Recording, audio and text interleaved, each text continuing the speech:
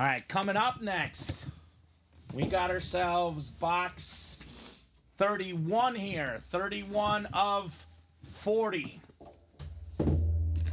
Oh my God. Oh my God. This is one of the all time great breaks. Patrick Mahomes, followed by a Jalen Hurts SpeedFlex with the green visor. How about it, Pat Rich? The guy that wanted the quad.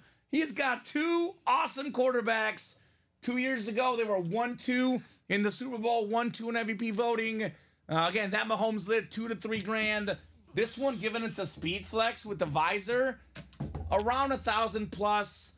These two combined, if we want to low ball it, Andy, more than 3K. You want to high ball it more than 4K. Yeah. And he spent 500 something bucks in here. Pat Rich says, Thank you so much. Let's go, Pat. Jalen Hurts and Patrick Mahomes uh, in the quad box break.